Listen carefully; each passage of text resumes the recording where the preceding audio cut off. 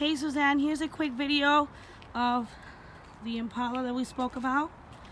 You can tell it looks very clean. Not a bad interior. Like I said, you'll have to come in, test drive it, see what you think about it. We do have a lot of other vehicles in the lot that fit your price range. And I'll show you a quick glimpse.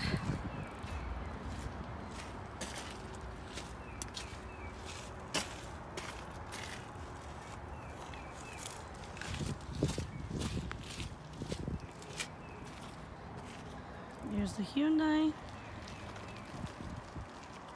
Hondas.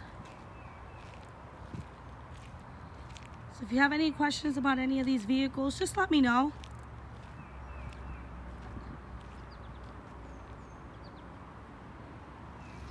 Again, I'm Sheila and you can always contact me at 603 438 4465. Thank you.